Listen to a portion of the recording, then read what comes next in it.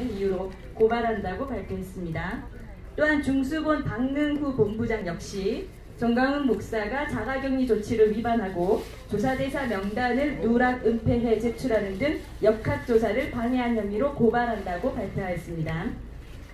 첫째, 정강훈 목사는 자가격리 대상자가 아니며 자가격리 대상자라고 혹 가정하더라도 자가격리 의무를 위반한 사실이 없습니다. 중앙방역대책본부와 중앙사고수습본부가 발간한 지자체용 코로나 대응 지침서에 따르면 이건데요. 자가격리 조치를 하는 대상은 접촉자로 판단되는 경우입니다. 지난 6개월간 우리나라 누적 확진자 수가 현재 16,000명 정도에 달하는데 이 확진자 한 명이 확인될 때마다 그 사람이 다녔던 모든 곳을 대상으로 같은 시각 같은 같이 있었다는 이유로 전원을 자가격리 조치를 하는 식으로 방역이 이루어져 왔다면 아마도 대한민국의 3분의 1은 마비됐을 겁니다. 또 병역 당국이 마음대로 정하기만 하면 누구라도 2주간 감금 상태와 다를 바 없는 격리를 할 수 있게 된다는 것이고 이는 대단히 심각한 인권 침해가 아닐 수 없습니다.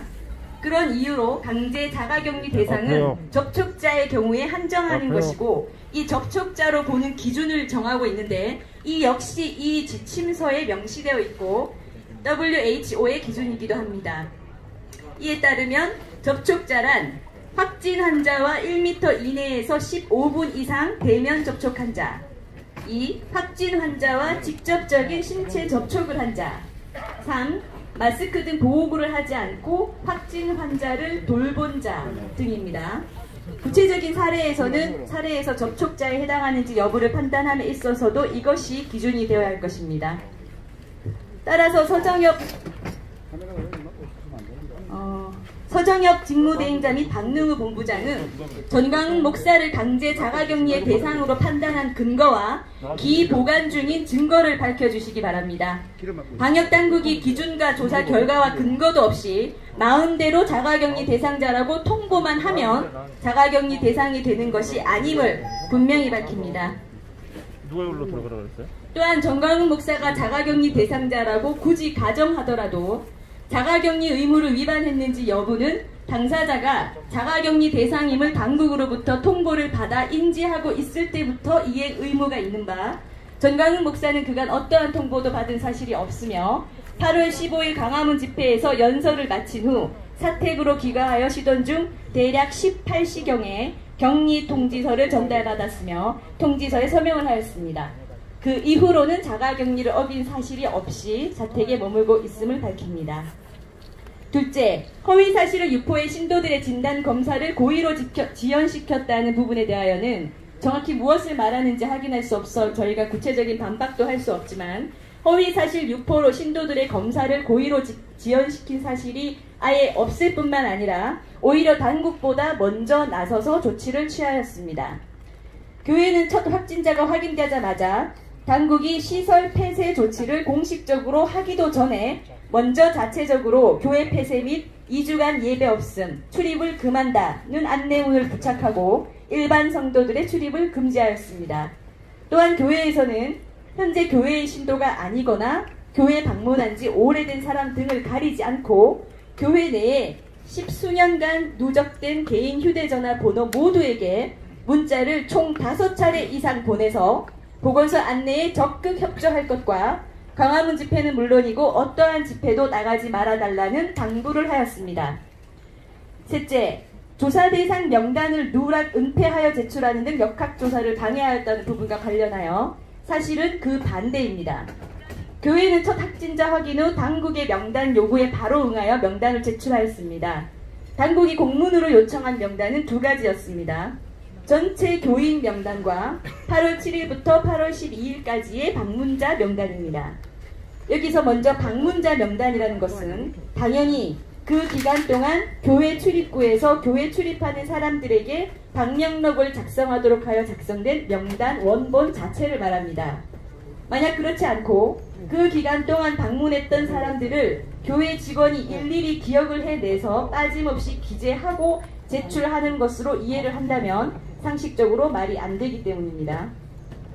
교회는 비교적 충실하게 방문자들로부터 방명록 작성을 받았기 때문에 당연히 실제 존재하는 방명록 원본 사본 일체와 이것을 전자문서로 옮겨 기재한 파일 모두를 제출하였습니다. 그런데 출입구에 출입카드를 찍지 않고는 들어오지 못하게 하는 장비가 설치되어 있지 않은 이상 통상 교회는 그 특성상 이런 차단 설비를 하지 않습니다. 그 수많은 방문자들 중에 어떤 이유에서건 방명록에 기재되지 못한 경우는 나올 수밖에 없는데 가사 그러한 경우가 몇몇 확인되었다고 하여 이것을 마치 기존에 존재하는 명단을 변조하여 고의로 일부를 누락, 은폐했다는 식으로 발표를 한다면 이는 명백한 허위 사실이라고 할 것입니다. 또한 교회는 전체 교인들 명단을 제출하는 과정에서 바이러스 방역을 위해서라면 사실 현재 교회에 정상적으로 나오는 교인들의 명단이 진짜 교인 명단이고 이것이 방역에 도움이 되는 명단인데 교회가 급히 서둘러서 어, 제공하느라고 약 15년 전부터 현재까지 신도로 연락처가 기재된 적이 있는 사람들의 누적된 전체 명단을 모두 당국에 제출하는 실수를 하였고 그 결과 교회에 나오지 않은 지 수년이 된 사람들까지 당국으로부터 검사와 자가격리를 하라는 문자를 받게 됨으로써 교회도 당국도 수많은 항의를 받게 되는 등 비효율적이고 곤란한 상황에 이르게 되었습니다. 이에 어제 교회 직원들과 당국 관계자들이 만난 자리에서 논의 끝에 교회의 전체 교인 명단이라고 기 제출한 것은 폐기를 하고 교회가 최대한 신속히 현재 교인 중심으로 재정리하여 제출하기로 협의까지 되었습니다. 이렇게 협의된 추가 자료 제출은 현재 모두 완료되었습니다. 넷째, 아울러 교회는 교인들 및 현재는 교인이 아닌 사람들에게까지 신속한 검사와 협조를 강구하는 메시지를 수차 보내왔으나 교인들 중에는 보건소에 연락했지만 검사량이 밀려 나중에 방문하라는 말을 들은 경우도 많은 것으로 확인되어 교회의 현재 기준 교인 명단에 따라 교회가 아직 검사를 받지 못한 교인들을 직접 지원하여 교인들이 병원에 바로 가서 검사를 마칠 수 있도록 적극 조치할 예정입니다. 결론적으로 사랑제일교회 및 전광 목사 변호인단은 위와 같은 사실들에 대해 당연히 그 사정을 잘 알고 있을 수밖에 없는 위치에 있는 서정협 직무대행자와 박능우 본부장을 각 허위사실 유포 명예훼손죄로 고소합니다. 두 번째, 우한 바이러스 검사 결과의 의문점입니다. 현재 많은 교인들이 자신들이 받은 검사와 보건소의 양성 판정에 의문을 제기하고 있습니다. 이에 교회가 교인들을 상대로 의문 사항을 접수받아 확인해 본 결과 주로 증상이 전혀 없었던 교인들에게 판정 결과에 부정확성이 드러났습니다. 사례들을 말씀드리겠습니다.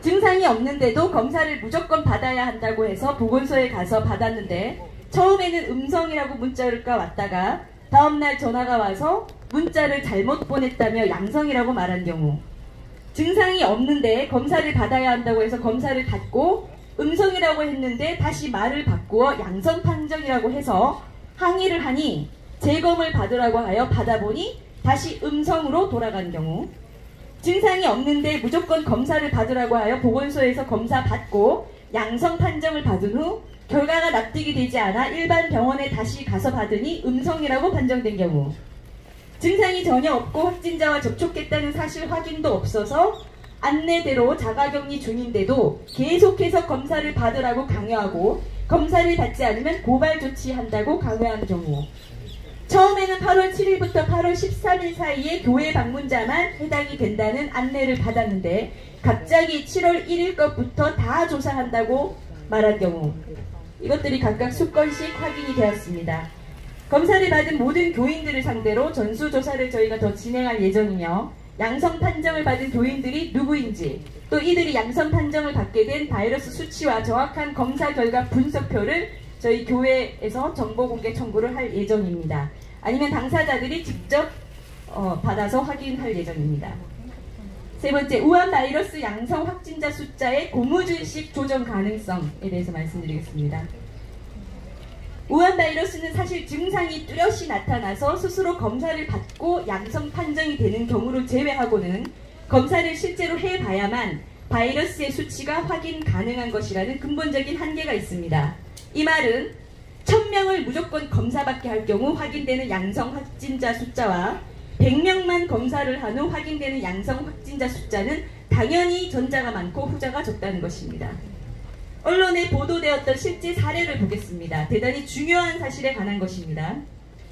4월 15일 지난 총선 직전인 3월 31일과 4월 2일에 각각 뮤지컬 오페라의 유령에 출연한 배우 두 명이 양성 판정을 받았는데 당시 확진자 중 한 명은 증상이 이미 나타난 후에도 무려 2주 동안 공연에 참여했고 그 기간 동안 누적 관람객이 8,600명에 달했습니다.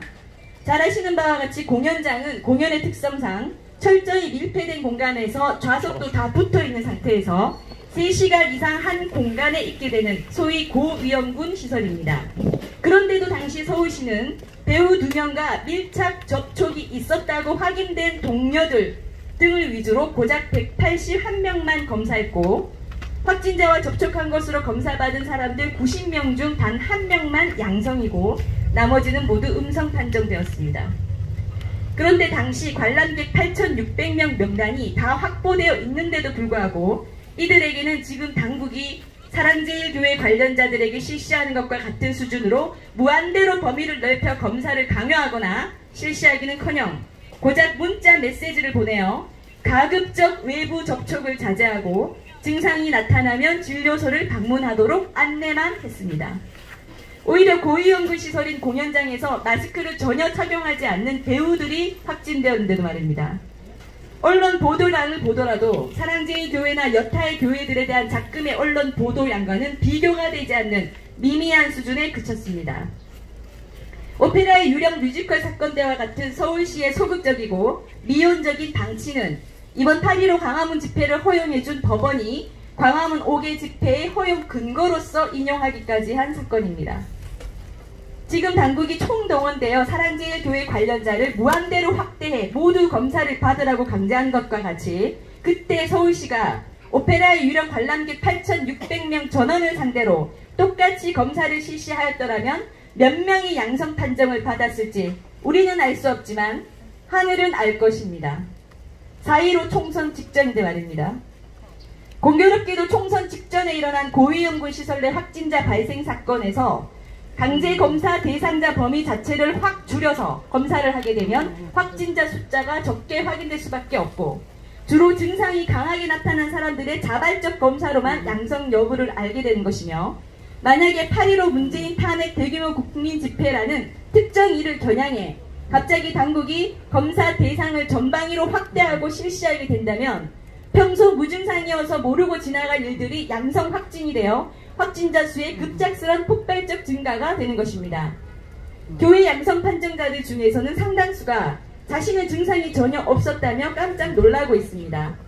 실제로 교회는 지난 6개월 동안 수많은 예배와 성경 특강으로 많은 인파가 다녀갔으나 그 6개월 동안 단 한 명의 확진자도 나오지 않았습니다. 우한 바이러스의 확진자 숫자라는 것이 정부가 검사 대상 범위를 어디까지 강제하고 어떻게 조치하느냐에 따라 고무줄처럼 특정 시기에 맞춰서 줄었다 늘었다 조정받을 수 있다고 보는 것은 충분히 합리적인 주장입니다. 국민들은 증상이 뚜렷하지 않는 한 각자의 몸속에 바이러스 수치가 어느 정도인지 확인할 일이 없기 때문입니다. 정부가 확인하라고 하거나 확인해 주는 대로 보고 믿을 수밖에 없는 것입니다. 이런 이유로 저희는 정부에 요청합니다. 지금 바로 청와대와 서울시 두 곳의 모든 소속 직원, 모든 방문자들을 대상으로 우한 바이러스 검사를 실시해 보시기 바랍니다. 보건소에서 검사받고 또 일반 병원에서 검사하여 중복 체크를 하시는 것도 좋습니다. 그 두 곳에서 두 자리 숫자의 양성 확진자들이 확인이 된다면 어떻게 하시겠습니까? 문재인 대통령 서정엽 직무대행자가 교회들, 특히 사랑제의 교회를 상대로 그동안 마치 존재 자체도 없었던 바이러스가 갑자기 생겨난 것처럼 확진자 수 확대에 주적으로 몰아가는 것이 합당한 일이겠습니까? 전수 검사를 해서 확진자 수가 두 자리수이면 당당하게 누구를 구속하라 사실상의 명령을 할 수 있고 세 자리수이면 무조건 구속당해야 하는 죄입니까? 이것이 정부가 확인하여 발표하는 우한 바이러스 양성 확진자 수, 신규 확진자 수의 근본적인 허점입니다.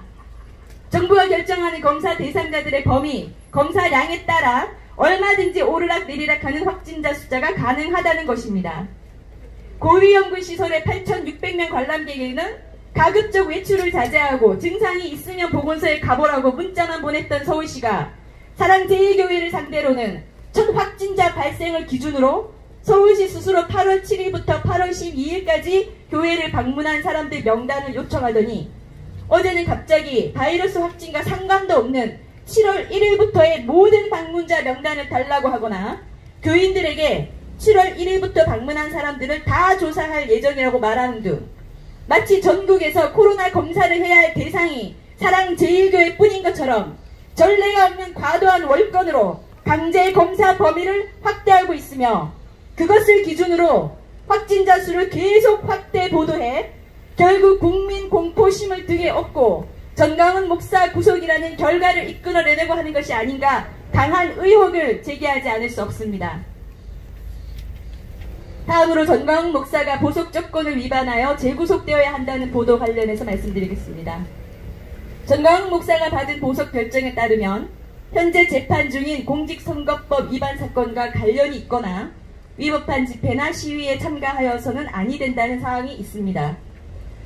모 시민단체 측이 집회 신고를 하여 동아면세점 앞에서 진행된 8.15 광화문 집회는 전광훈 목사의 현재 계류 중인 사건의 공소 사실과 아무런 관련이 없고 설치된 무대와 집회는 모두 서울행정법원의 집행정지 결정으로 허용이 되었고 경찰이 무대 설치를 허용한 결과 이루어진 집회입니다. 정광훈 목사는 본 집회 무대에 오를 수많은 연사 중 한 명으로 초청이 되어 약 5분간 연설을 하고 곧바로 집회 현장을 떠난 것이 전부입니다.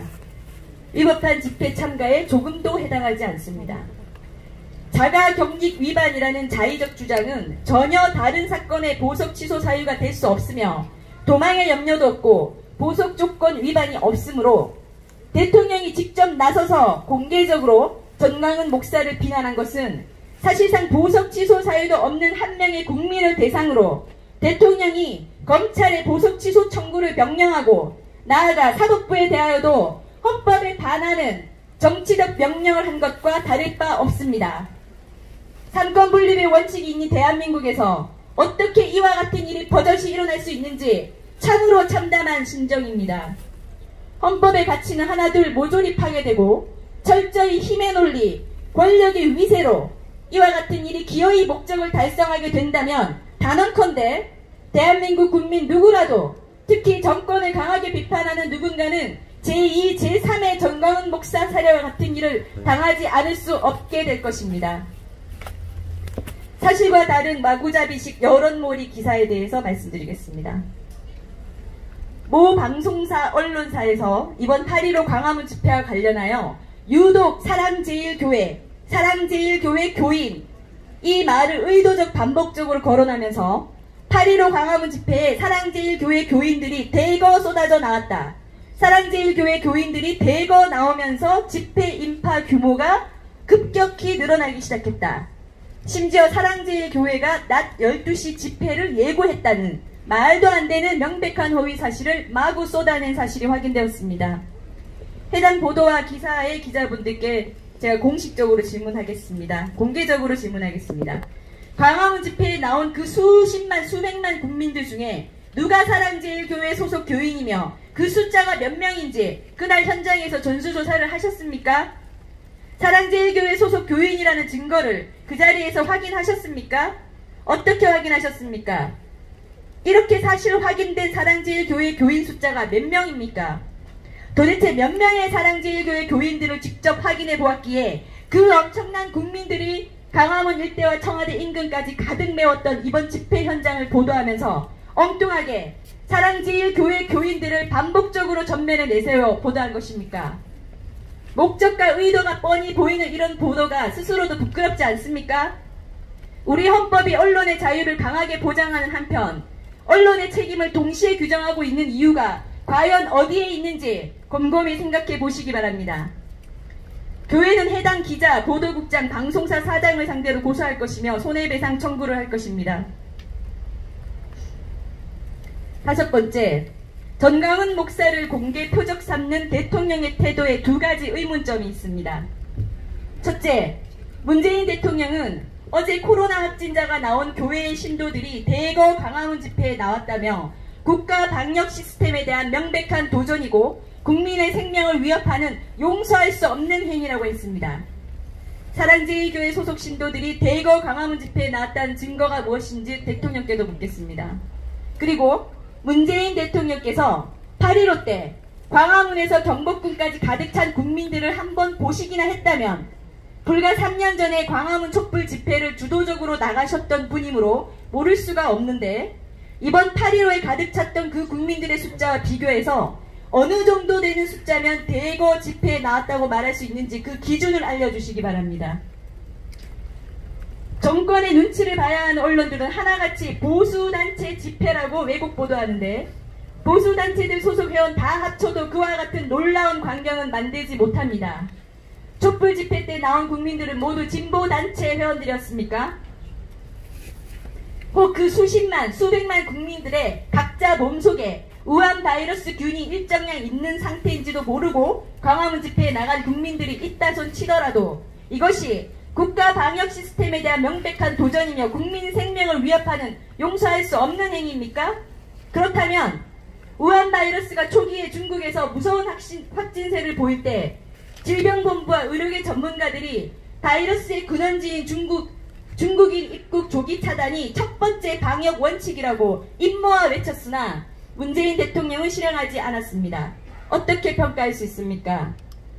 문 대통령은 대구에서 코로나 확산이 터지기 시작한 날 청와대에서 음식을 시식하며 파한대소를 하는 모습이 언론에 공개되기도 했습니다. 종교의 자유는 더욱 강하게 보호하는 것이 헌법 정신인데 종교시설과 예배 금지는 강행하면서 오히려 고위험군 시설인 대형 클럽들을 방치하여 이태원발 바이러스 확산이 일어났습니다. 또 지난 총선 직전에 발생한 대형 공연장 내 확진 사건은 관람객 8,600명의 전수 검사도 실시하지 않고 지나갔습니다. 지금의 코로나 위기가 오기 얼마 전 시청 앞 광장에서 국민 반대에도 불구하고 박원순 전 시장이 5일장을 치렀습니다. 9월에는 무려 12일간의 동성애 대규모 축제도 허용하였습니다. 또 어제와 오늘 휴가 기간 3일이 총 비상이라고 하는데 그 휴가는 누가 만들어 주었습니까?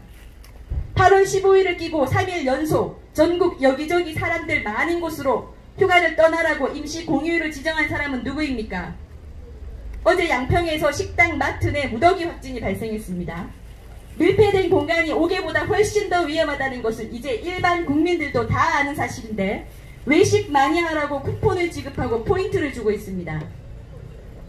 광화문 집회를 허용한 법원의 결정을 보면 정부가 그동안 오히려 고위험군인 시설 내 방역 조치나 확진자들에 대한 조치는 수위를 조절하는 반면 헌법상 중요한 기본권인 집회의 자유를 전면 금지하는 것은 과잉 금지여서 원천 무효이고 순수한 5개 감염 사례는 거의 발견되지 않았다는 것이 판결문에도 명시되어 있습니다.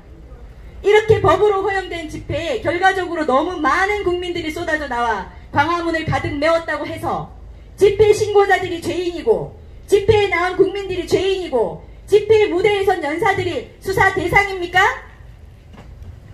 초기 국가 방역 시스템을 흔들고 고무줄 같은 잣대로 국민 공포와 직결되는 우한 바이러스 확진자 수를 가지고 마음대로 이랬다 저랬다 하며 국민을 불안과 공포와 분노로 몰아넣는 것은 정작 이 정부가 아닌지 묻지 않을 수 없습니다. 둘째, 문재인 대통령은 평소 존경하는 노무현 전 대통령의 어록을 인용하면서 박근혜 전 대통령을 비판해 왔습니다. 박근혜 전 대통령이 국민들의 쓴소리를 수용할 줄 모른다면서 인용한 노무현 전 대통령의 어록은 이것입니다. 대통령을 욕하는 것은 민주사회에서 주권을 가진 시민의 당연한 권리입니다. 대통령을 욕함으로써 주권자가 스트레스를 해소할 수 있다면 저는 기쁜 마음으로 들을 수 있습니다. 또 연설 중 날계란을 맞은 노무현 전 대통령이 정치하는 사람들이 계란을 한 번씩 맞아야 국민들이 화가 풀린다고 한 말도 문재인 대통령은 종종 인용해 왔습니다. 이와 같은 문재인 대통령의 과거 언행에 비추어 볼 때 대한민국 최고의 권력자인 대통령이라는 지위와 신분으로 대한민국 국민 한 사람을 겨냥하여 중대한 범죄 사실과 잘못도 없는 목사 한 사람을 콕 집어서 반드시 잡아놓지 않으면 안 되는 사람으로 사실상 모든 공권력과 국민을 향해 선포하는 행위가 과연 정의로운 권력 행사인지 이것이 자유민주주의 대한민국이 맞는지 이것이 촛불 집회에서 국민이 주인이다를 외치던 대통령이 할 수 있는 행동인지 묻지 않을 수 없습니다. 기자회견문은 여기서 마치겠습니다. 코로나와 관련해서 어, 두세 가지 우리 의사회 회장님이 같이 나와 계시기 때문에 몇 가지 말씀을 저희가 전문가의 의견으로 좀 듣겠습니다.